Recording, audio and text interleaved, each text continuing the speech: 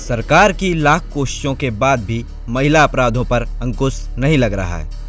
बदमाश दिन दहाड़े घटना को अंजाम दे रहे हैं।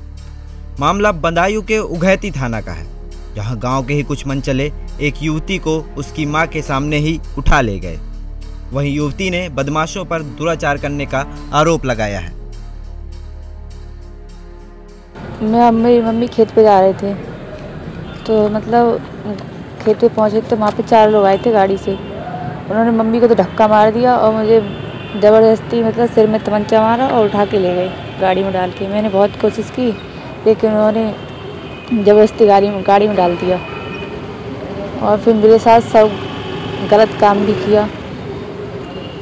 और कहाँ ले गए चंदोसी।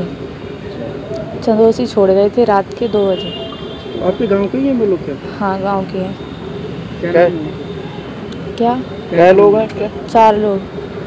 उघैती में वादी की तहरीर के आधार पर दिनांक 26 बारह 18 को तीन सौ आईपीसी के अंतर्गत अपराध पंजीकृत किया गया है।